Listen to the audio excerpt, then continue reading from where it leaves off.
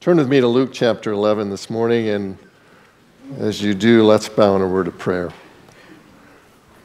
Our Father, thank you for your many blessings.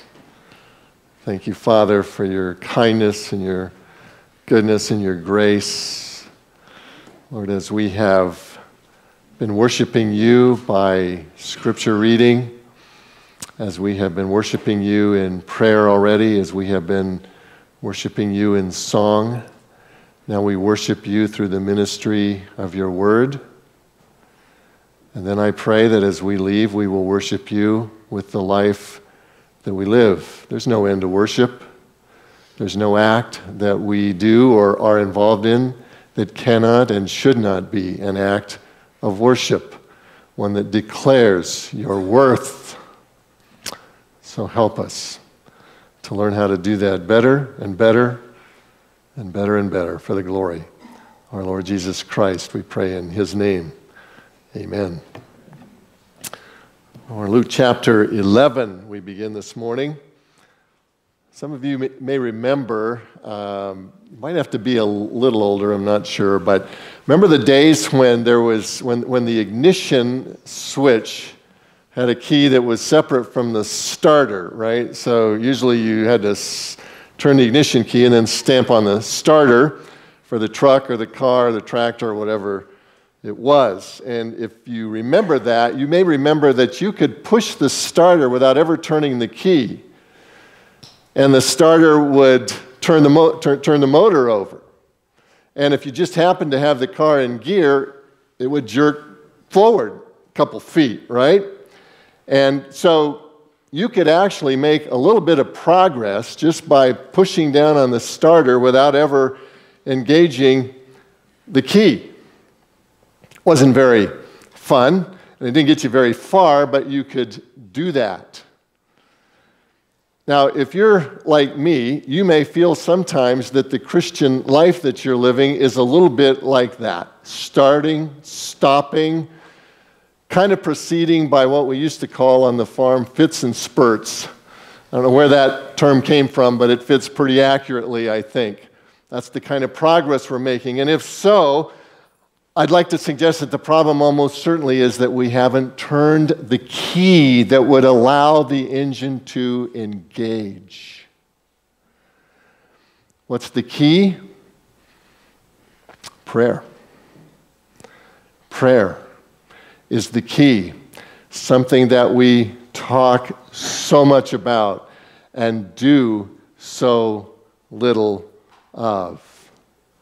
And yet, without it, beloved, without it, nothing that we do can be of eternal value.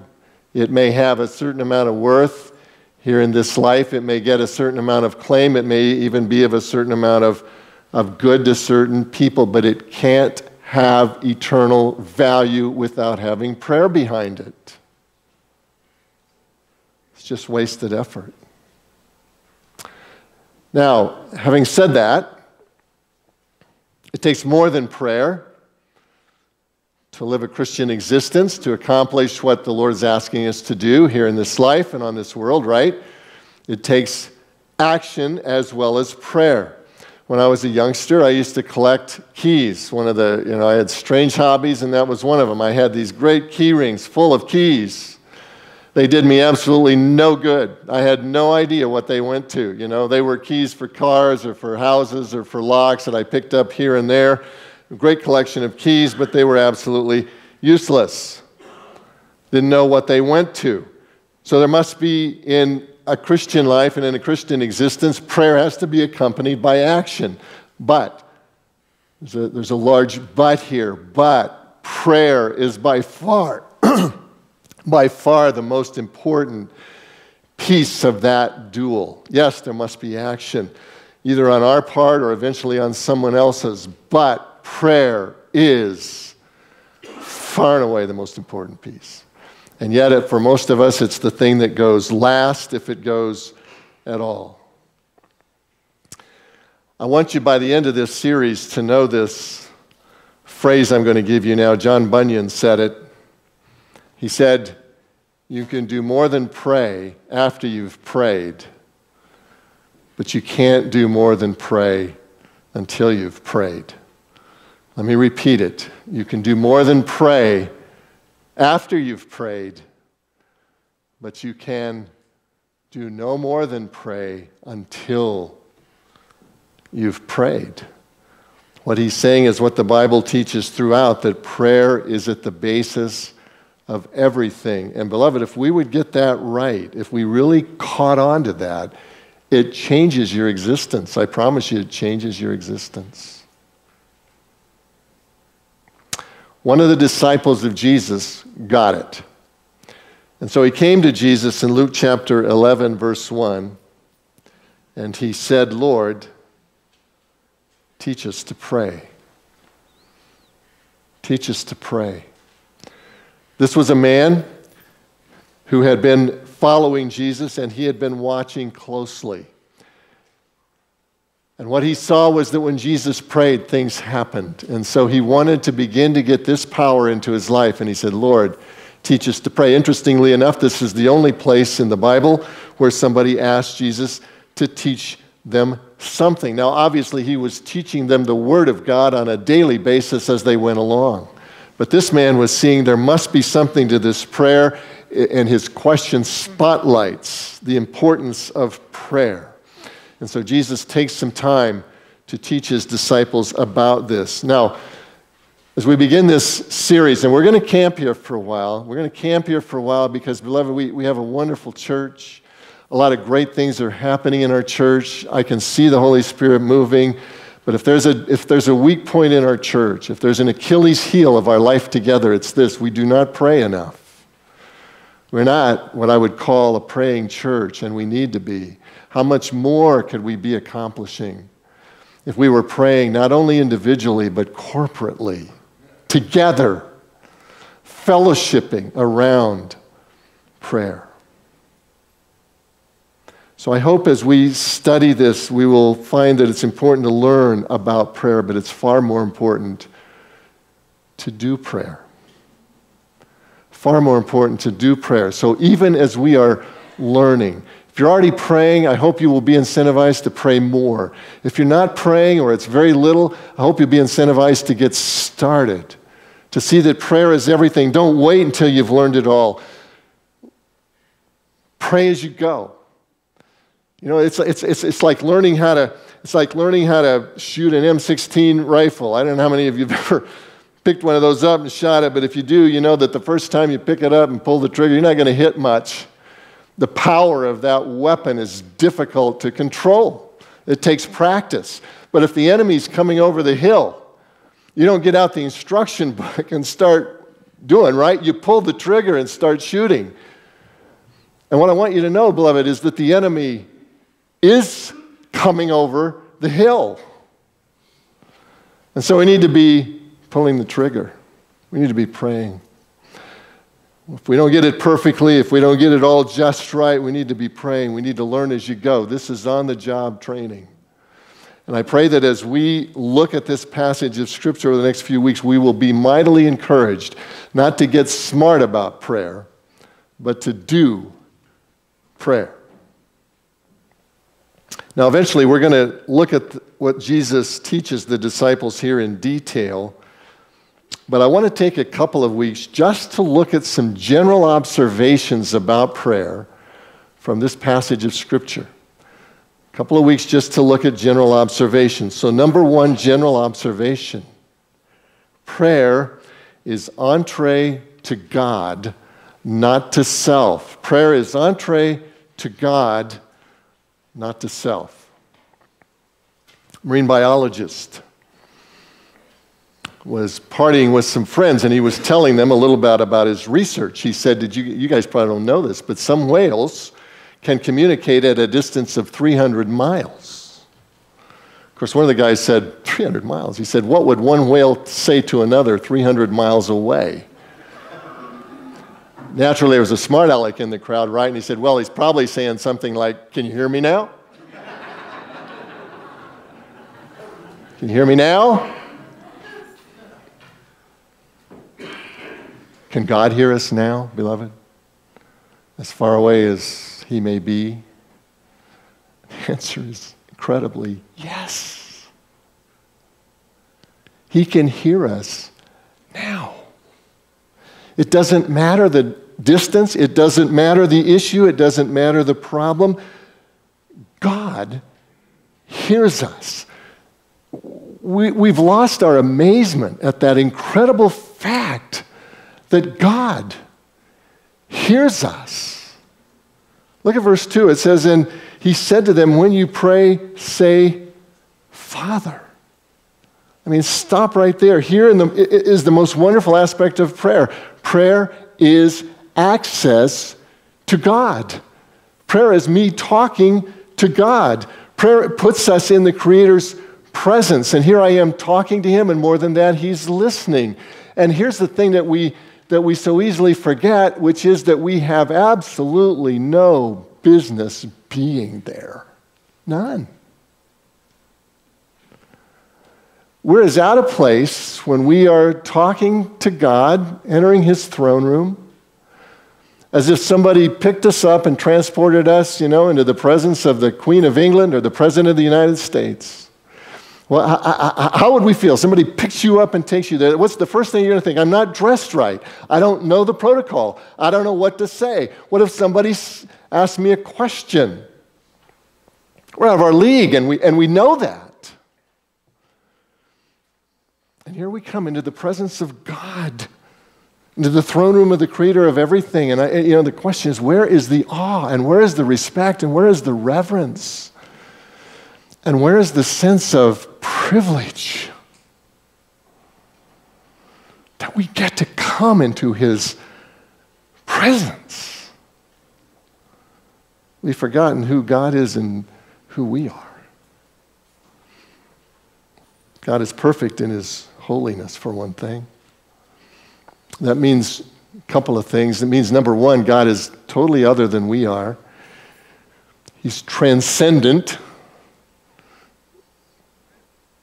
We understand him because he accommodates himself to our language, right? Because he gives us words that we can understand so that we can get at least a little bit of a glimpse of him, but he's totally other. And the second thing that means that God is holy is that he is that he has a moral perfection perfection that is absolute. There is no break in the moral perfection of God. There is no flaw. There's no, you know, there, there's no flaw in the armor there. He is absolutely perfect. And we don't realize how absolutely rotten we look compared to his perfection. We've forgotten that. You know, we get a little bit of a reminder, a passage like Isaiah 64 6, where he reminds us that our righteousness is like filthy rags, a polluted garment. Do you ever consider what that really means? You know, you know what that means? That means that on our best day, on our best day, on the day you get up happy, and the day that you do your devotions and you pray right away. And your prayer isn't just for yourself, it's for a lot of other people. And, and the day you give money and effort to help the people that are victims of the latest flood, and you've actually went down and mucked out houses. On the day when you come home and your wife says something that's really irritating and you respond with patience and kindness. On that day,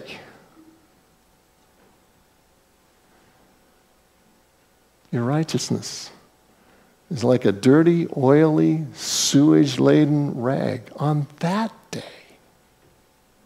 Whoa. Say, well, that's a wonderful reminder. That's just what I needed to come to church to hear. Listen, beloved, I'm not telling us this to bury us. What's the point? The point is that we get an understanding of reality here, right? This is who we are. Doesn't mean we shouldn't do those things. Of course, we should do those things. But it means that God, on our best day, sees that our motives are mixed. And in addition to the whatever it may be that's of value and that's good there, he sees the selfish motivation behind it. He sees the self righteousness that attaches to it because I got it right, thereby negating whatever it was I got right. God sees through all of that. And the point is not to bury us, but to let us understand we can never deserve to be in His presence. Never. It's not possible. So, why are we there? Why are we there? Because, beloved, we have a mediator. Because we have a mediator. We have a go between. We have somebody who can represent us to God and who can represent God to us, and somebody who can go before us and say, This person, this person gets entrance, not because of who they are, but because of who I. I'm the mediator. This is what Paul reminds us that Jesus does in 1 Timothy 2, verse 5. When he says this, he says, For there is one God and there is one mediator. Don't miss, there's one God only, and there's one mediator only. There's one God, and there's one mediator between God and man, the man Christ Jesus. Why are we in the presence of God? Jesus is our ticket, beloved.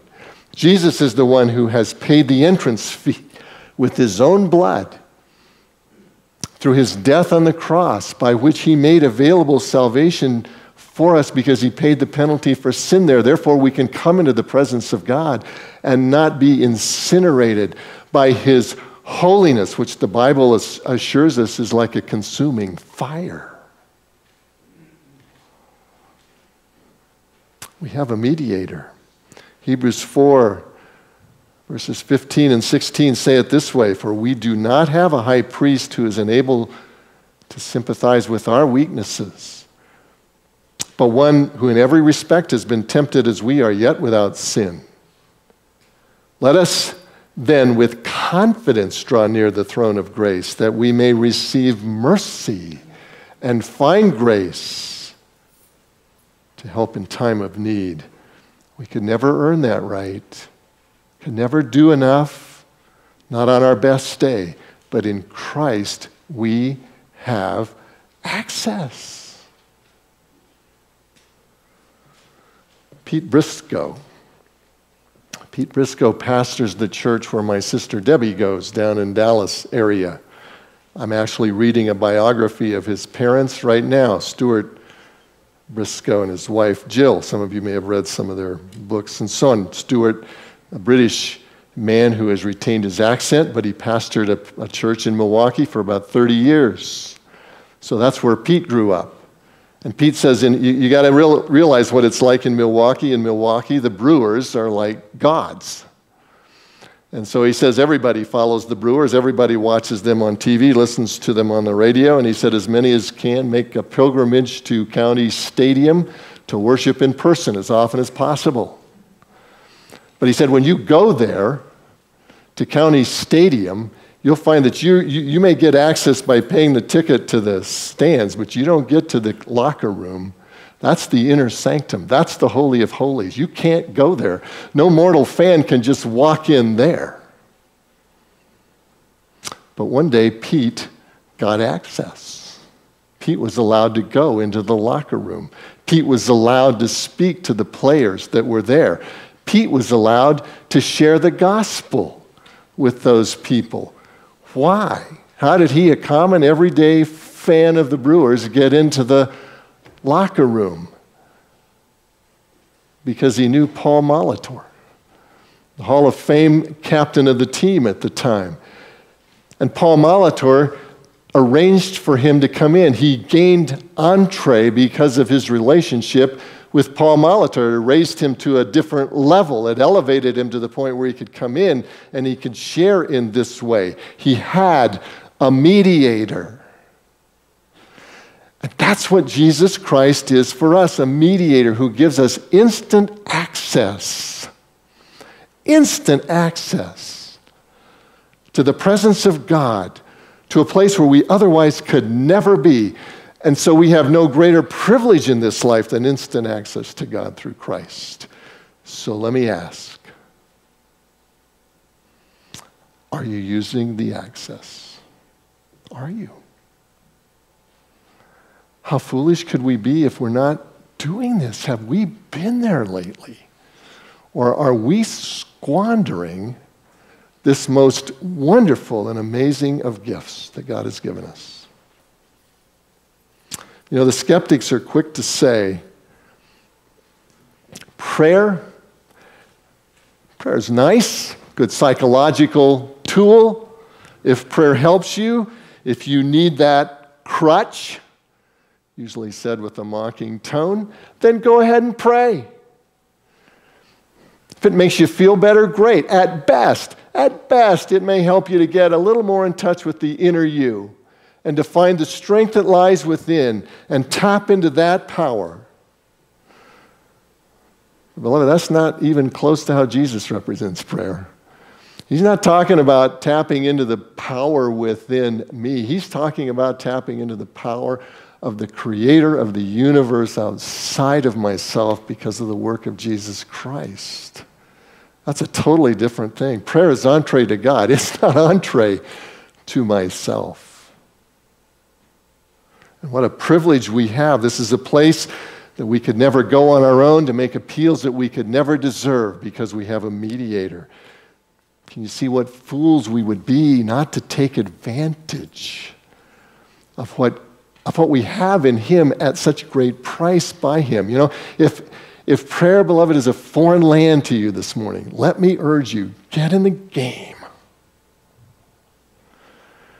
Prayer is access to the greatest territory in the universe, absolutely forbidden to us except for the work and person of Jesus Christ. So don't squander it. Don't let it go. We need to be there. Entree to the Father. Secondly, prayer is essential, it's not optional. Say, are you saying I can't live without prayer? No, I'm saying you can't live a Christian life without prayer. Sure, you can live without prayer. But don't ever fool yourself that you're living a Christian life without prayer. You're not. Good things may happen to you. Certain things that you thought, hey, this is the blessing of God, may actually be true. There's such a thing as common grace. God says He makes His rain come on the, on the, the, the believers and unbelievers alike. But you're not living a Christian existence unless you're being with the Father. You're not. Prayer is not optional, it's essential. So, why is it essential? So we can go there and get things? So we can tap into the great Santa Claus in the sky? For most people, that's what they think when they think prayer. Now, listen, by the end of this series, if you don't have that straightened out in your mind, I have totally failed. The Holy Spirit could not possibly fail, so it would have to be my failure. But failure it would be. Prayer is not about getting things. Prayer is about one thing, beloved. It's about aligning with the will of God. Prayer is about aligning with the will of God. And you see, when we're aligned with the will of God, all those other things will come. But they will come in the right way. And they will come as and when that's what God wants to have happen. Prayer is aligning with the one and only will in the universe that counts, the one and only will in the universe that gives perfection to life and to death and to everything else. Your best life is not what you will. I know you think so. I think so. We all tend to think, I know what's best for me. We don't. So when we pray for things without submission to the will of God, we're just kidding ourselves. Prayer is always about aligning with the will of God, and you will never understand prayer until you get that. You won't. You'll be praying and saying, How come I'm not getting my answer? I give up. God is not there. He's, he may be good for other people, He's no good for me. It's because you don't understand what prayer is. Prayer is about aligning with the will of God. Now, listen. I want to show you how important this is. Look at verse 1. Now, Jesus was praying in a certain place. Who was praying? Jesus. Now, think about that for a moment. Jesus, God in the flesh, is praying.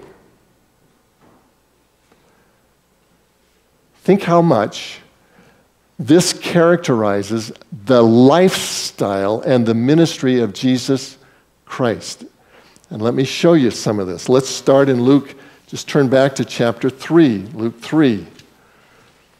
At the very beginning of his public ministry, in Luke chapter 3 and verse 21, at his baptism.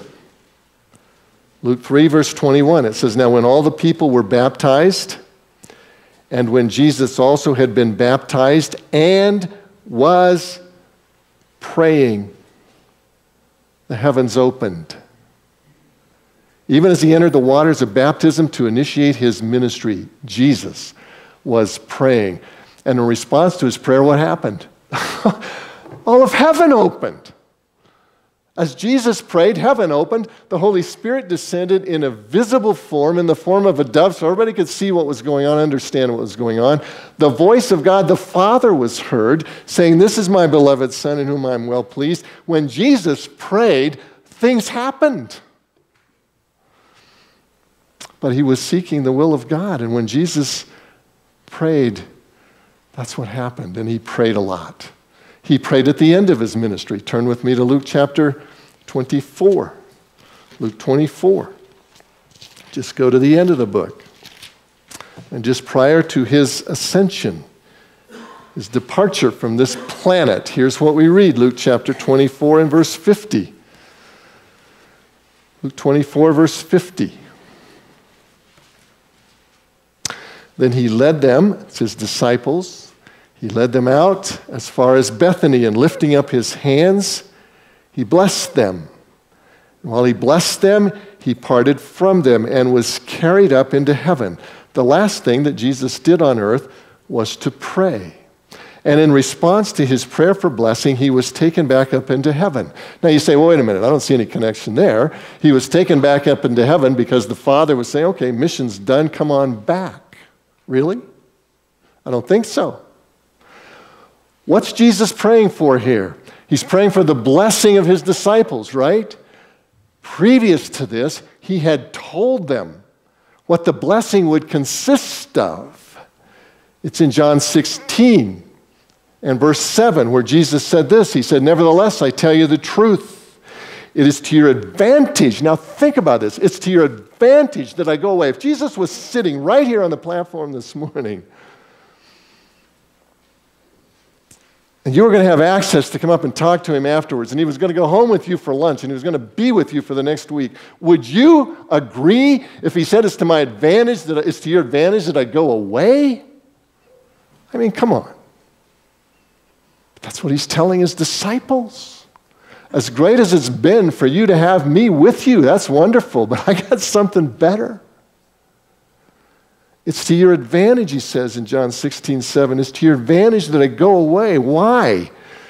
For if I do not go away, the Holy Spirit will not come to you, the helper. But if I go, I will send him to you. So that's the backdrop to Luke 24, verse 50, where Jesus is now praying for the blessing of his disciples and what's that blessing? That the Holy Spirit's going to come, which means that if they're going to be blessed, the Holy Spirit must come, which means that He must go away. And he's, he's praying for the blessing of the disciples. And those are the things that have to happen. Guess what? Those are the things exactly that happen. It's an answer to prayer. So Jesus prays at the beginning of his ministry, he prays at the end of his ministry, and believe me, prayer marked everything in between, right? every critical moment in his ministry. In the book of Mark, in the first chapter of Mark, Jesus is seen healing people late into the evening, early in his ministry, late into the evening. And then in Mark 135 we're told this, and rising very early in the morning while it was still dark, he departed and went out to a desolate place and there he prayed. And guess what? In answer to that prayer, when they came to seek him to come back to the healing service, he left. You're kidding me, right? Pe- people that are in wheelchairs and people that are crippled and people that can't see and people that are deaf are right outside the door just waiting for healing, and Jesus leaves. Why? Because he's aligning with the will of the Father, and there's something more important than that physical healing. What's he going to go do? He's going to go preach in other cities. He said, That's more important. I got to go. The will of the Father is driving him. His compassion alone would have let him stay, stay there. But he leaves because his prayer has aligned him with the will of the Father. That's not the end of that kind of thing. In Luke chapter 5, verse 15, Luke 5, verse 15, we see this. It says, But even now, even more, the report about him went abroad, and great crowds gathered to hear him and to be healed of their infirmities.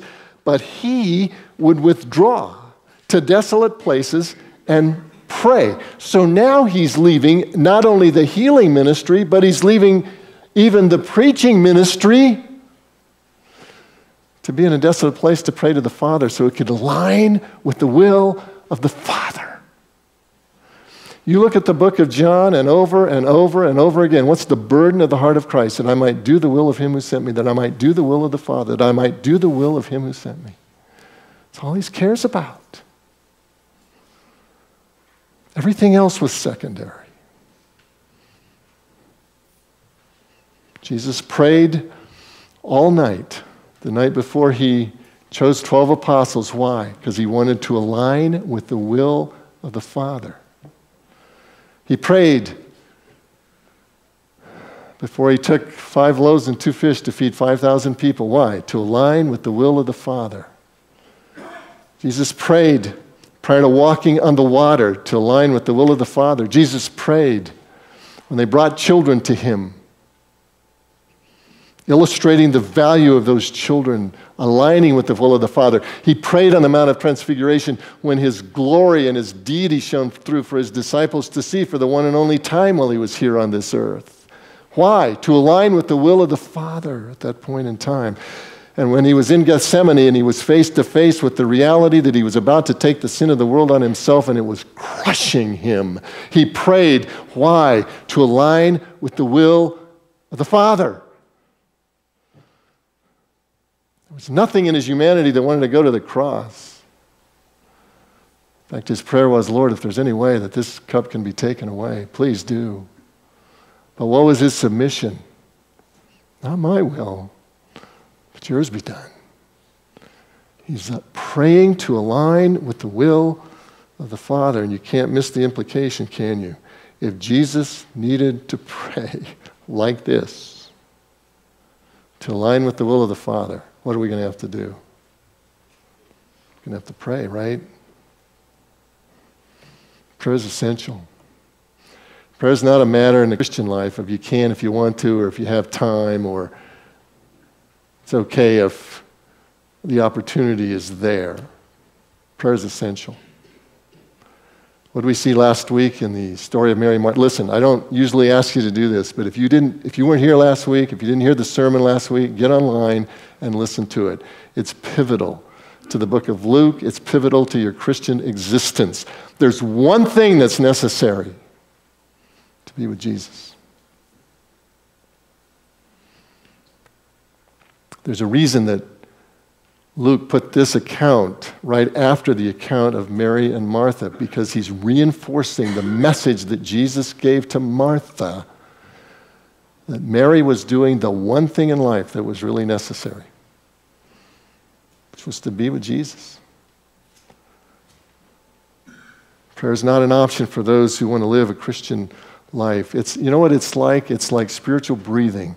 It's like, how, how, long can you live without, without, without breathing physically? Did you ever try that? I mean, you know, let's, I think I'll go a day without breathing. It's a lot of trouble.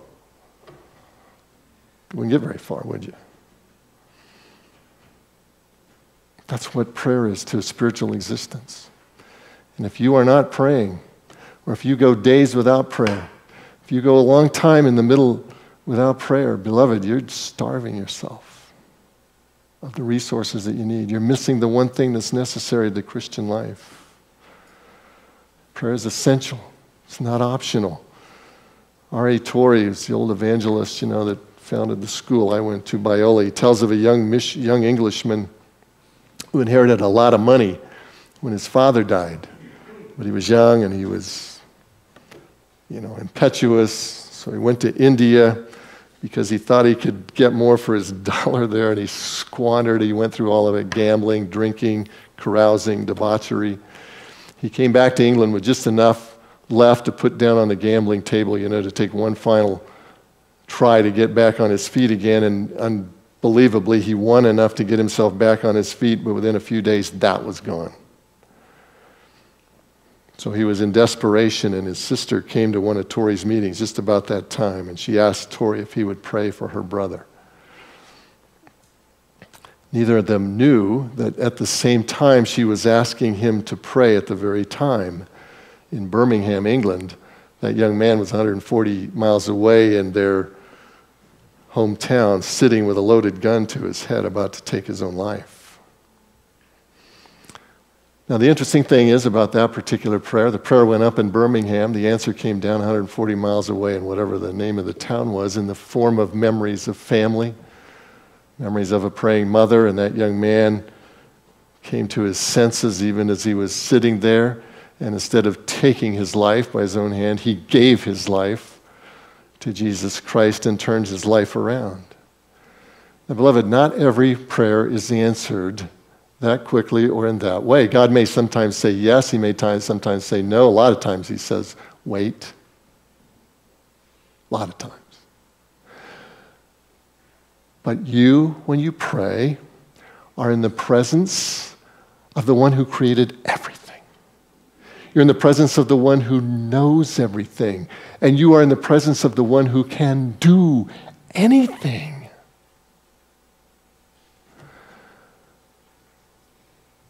Even stop a guy from taking his own life from 140 miles away.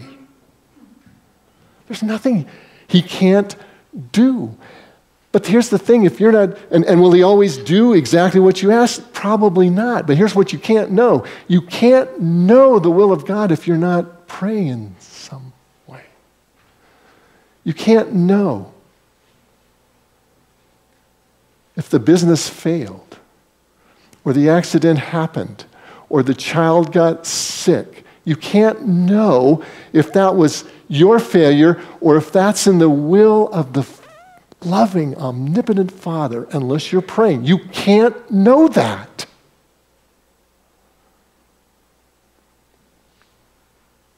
Prayer is aligning with the will of God. It's, it's the most wonderful place in the whole universe to be. Turn with me to Psalm 90. Look at this. This is a great, great verse. Psalm 90. It's a psalm Moses wrote. Do you know there was a psalm Moses wrote? We always think of David in the Psalms, right? But here's one that Moses wrote. Got collected with the rest of them. It's a psalm where he urges us to number our days. So it's a psalm about having an eternal perspective. It's a psalm about living from God's perspective instead of my kind of earthbound perspective. It's a psalm about getting the bird's eye view. And look what he says in the last verse Psalm 90, verse 17. Moses closes by saying this Let the favor of the Lord our God be upon us and establish the work of our hands upon us. Yes, establish the work of our hands. Now, if you happen to have a New American Standard Bible, you'll have, an, you'll have a marginal note there that says that the word establish could be translated make permanent. Make permanent. What Moses is praying and thereby urging us to pray is that God would take the mundane things that we do every day of our life and that God would establish them in the sense of making them permanent. He's not saying establish them for the next, you know, couple of days while something has to happen or for the next month or for the next 3 years. He's saying, "Will you please give eternal worth and value to this thing I'm doing?" Think about that. That means that there's not a single thing that we do that we can't be asking God, please give eternal significance to washing these dishes. Give eternal significance to this phone call I'm about to take. Give eternal significance to this preparation I'm doing to go teach those unruly kids. Give eternal significance to my life. Don't let me live a wasted life. Don't let me live a life that's only it's only good for whatever it can accomplish in the little bit of time I have here. Give eternal significance. It's on us whether we're going to do that or not. It's not on God. He's willing, He's ready, He's able. The question is, where are we? Let me close with this. Let me close just by urging us don't squander the opportunity to come into the presence of the Father. Beloved, prayer takes us to breathtaking heights, into forbidden territory where we have no right to be. And yet we can be there because we have a mediator who has invited us to come in his name. That's what it means, by the way, to come in the name of Christ. That's not a magical formula that you attach to the end of the prayer. In his name means I'm coming because of what he did, because of the righteousness that he's imputed to me. I'm coming. Life takes a whole different perspective when you begin to pray, to pray specifically. The October 2011 issue of Christianity Today magazine had an interesting article. that told about a family who were facing financial shortfall one month. Could be any family, right? But the woman, knowing this was serious, they began to pray. And they were doing everything that they knew, the action was there, but they began to pray that the Lord would work. And three days later, an unexpected check arrived in the mail. I know this always happens to somebody else, not to you, right? I hope you haven't quit asking. I hope you'll tell me when this happens, because it will. It's the same Lord. The check came in the exact amount that they needed. And she said this. Here, here, this, this, this is a woman after my own heart. She said, My skeptical mind knew the money could have been purely coincidental. But in that instance, I had the unprovable but resolute sense that it was God's answer to my prayer. I was, of course, flooded with immediate gratitude, but within minutes I was undergoing mental gymnastics. What if I hadn't prayed? I wondered. Would God have provided anyway? Do I really have to ask when He knows our needs before we do? She goes on. I don't generally hear the audible voice of God, but that particular afternoon I could have sworn I heard a chuckle. Of course I would have provided it. It seems God was saying, but you wouldn't have had the joy of knowing it was me. That's true. You can't know anything as the Lord if you haven't asked, if you haven't been there, if you haven't brought yourself into His presence. You don't know if the bad thing happened because you failed. You don't know if the good thing happened because God provided or it was just common grace. Come to the throne of grace, beloved. That's the only place you can know that you and God are working together. This isn't, we need times for prayers, we'll see, but this is a lifestyle. This is, this is, a, this is living in the presence of God. Since He never leaves you nor forsakes you, you can talk to Him anytime, anywhere, short, long, eyes closed, eyes open, in your mind, with your mouth. But here's the thing that's most important you can do more than pray after you pray. But you can't do more than pray until you pray, right? Let's pray. Father, somehow bring this bring this lesson home to us just at the start of this series, there's nothing more important than we learn that prayer is entree to you and that it's essential, it's not optional. And so, Lord, as awkward as it may feel if we're not used to talking to you, or as, as oh, what's the word, Lord, as, as, as, as hopeless as it seems sometimes when the answer doesn't come right away or when the answer isn't what we thought it should be. Lord, help us in those times to more than ever grasp onto you and cling to you and say, Thank you for providing what I really needed instead of what I thought I needed. That's the essence of trust. Easy to trust you, Lord, when when we get everything just like we thought we should. The hard part is when it doesn't quite come that way. Then, then our test is, our faith is put to the test of do you really believe God or do you just believe you? Help us to believe God. Thank you for the challenge, Lord. Help us to be up to it. I pray in Jesus' name. Amen.